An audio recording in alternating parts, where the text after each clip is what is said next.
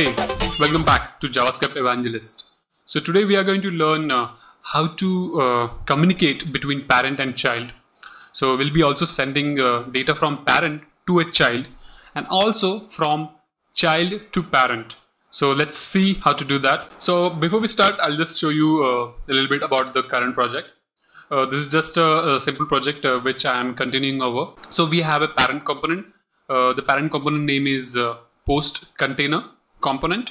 So which is this. I'll just go to the presentation mode uh, in my uh, IDE that is WebStorm okay. So this is the component file.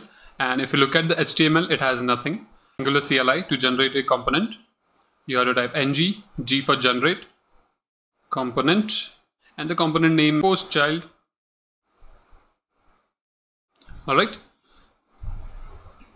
so when we create post child component, which is over here now, I'll just show you. So we have a post child uh, component. Also, whenever a CLI generates a component, so this is the component. Okay, post child component. It is appending uh, the selector app. Also, it is as well adding it to the module app module over here. So you can see the post child component is added under the declarations. Okay. And uh, let's just uh, resume at our data communication patterns. So what I'm going to do is uh, I'm going to add the post child inside parent component container. And let's just view it uh, how it looks now. So you can see uh, post child works and post container works so this part is coming from uh, the parent container, post container. Inside post container, we have our post child container component. All right. So uh, what I'm going to do is I'm going to uh, create a placeholder inside post child to accept a data from parent. So I'll just go to the post child component and I'll add something called add input decorator. Add input decorator is a function. All right so let's say I'll just say uh, title. Uh, so I'm about to receive a title. Now, when you add something like this, you can also use this inside the post child component HTML. So I'll just add it over here. Uh, I'll just add an h4 and double curly braces and the title. All right. So we have an input decorator and the variable name is title okay? Let's just go back to the parent uh, HTML that is post container HTML so this title uh, uh, was available to us because we have created an input variable. And I'm just going to pass a simple title uh, hey from parent. Alright? And let's see how it looks. Alright it's working fine. Right it's simple as that. So that's how you send a data from a parent to a child component. Uh, we can also do one more thing a child component. So instead of uh, setting it as a variable, I can also set it as a setter. So whenever we receive a title, uh, I want to modify that. So let's see how we can do that. So instead of adding it like this, I'm going to add a setter over here called mm, set title. All right and this function is going to run for the title. So this is the same thing. Now whenever we receive a title we are going to receive a value. And I'm just going to do a console.log value. Alright let's see how it looks. Value from the parent. And we are console.log in our function. By the way you can omit this and you can just simply say title and it will still work fine. Okay? Alright but you're noticing that it's not being printed over here. The reason for that is we have to assign the value over here now. So I'll say my title. Okay this is something called public value now. My title. And I'm going to set this value over here this dot my title equal to value and I have to update this my title inside the HTML of post child component HTML. Alright, let's see how it looks. Okay, everything's working fine. Uh, we can modify this value as well. I'll just append something after this. I'll say mm, modified. Alright, let's see how it looks. Perfect, working fine. There is one more thing I would like to show you. That is the post uh, container component. Over here, uh, remember we are passing a string value over here. Uh, also, you can pass variables over here. That's fine. So I'll just call it as uh, title again. All right. So I can set a default value uh, title from parent. Okay. Now I'll just go back to the HTML over here. You can just uh, print it over here. Alright this is the title from the parent. And I'm just going to pass it over here as it is. And you can see everything is working fine. Title from parent and title from parent modified. So everything is working right?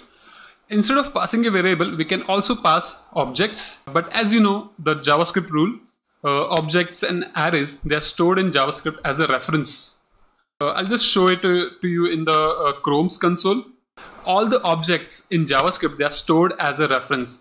So functions, arrays, and objects, object literals. So I'll just show you a simple example. So I'm just going to create a variable uh, a, okay? Variable a equals to an object and variable b is equal to a. All right, I'm just going to hit enter. Now, if you notice, uh, if I just say b dot uh, c, it will print out 2, right? But if I update b dot c equals to 99, what do you think what will happen? It will also change the value of a dot c. That's why, that is what I mean. So basically, a is pointing at this object as well, b is pointing at the same object so they are stored as a reference. All right so i'm going to do just that now with help of angular. So rather than passing as a title i'm going to send a person. Okay? Person name is equal to javascript evangelist. All right and i'm going to pass this person to the child which is over here. Okay. Uh, I think we can keep this same name. It's uh, it's fine. It doesn't matter. Okay. Uh, let's just go back and see if it's working. Okay we are getting an object object because we are receiving an object. So let's just go to the post child. This is uh, inside post child component typescript file. If you look at it over here okay so we are receiving an object over here. So what I'm going to do is oh, by the way I'm just going back to the old one now. Title so we are receiving an object. Um, I'll just try to modify this object. We'll set a click method over here. Change name. Okay. So title dot name is equal to mm, JS dude. Alright, and basically this is going to be this dot title. Okay, let's see what happens. Uh, also, we need to set a uh, click event over here. So I'll just add a button. Okay, and I'll add a click and change name. So whenever you hit the change name over here, let's see what happens. Okay, so I'm just going back to the post child component. So we are receiving a title. It's not basically a title. Uh, it's basically a person. We are receiving a person. I'll just set it as a person. Uh, person from parent. Okay. So I'm just going to update the same thing inside the post container component HTML. Okay, you can see. And I'm passing this person over here. Okay. Also, we'll just print the person over here. So this is the person. We are passing the person to the child as a person from parent. Okay, now hit, if I hit the change name, let's see what happens. Hey, so basically it's working, it's affecting to the parent as well. Okay, but this is not the right way. Never modify a reference object into child component. So let's see how to do this properly. Rather than updating, updating the person from parent like this, we can do something else.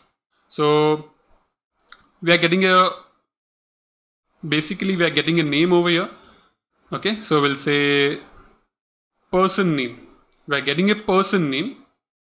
Okay, and I'll just do a console log or maybe uh, this dot my title equal to person name okay and I'm just going to update it over here okay so child will update oh sorry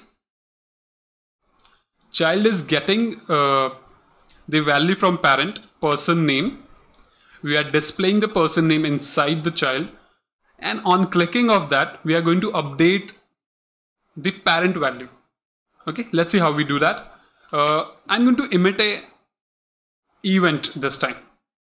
So we are going to call it as output. Okay we are going to make it uh, on person.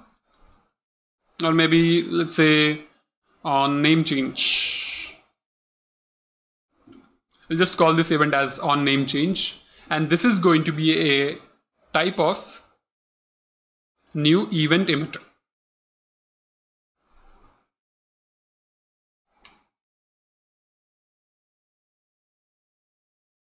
All right.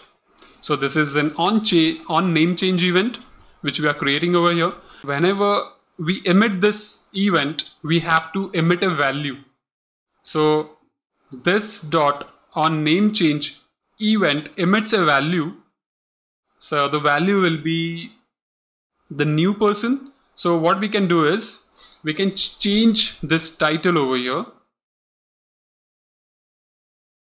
This dot my title will be new person name. Okay. And we are going to pass this value over here. Maybe you can just pass the string as well just to make it simple. We're just going to pass a string. Okay. On name change is an event name. All right.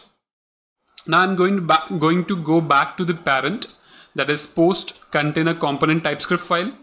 Okay. Inside this html i'm emitting an event over here okay the event name is as you can guess on name change okay on name change something is going to happen.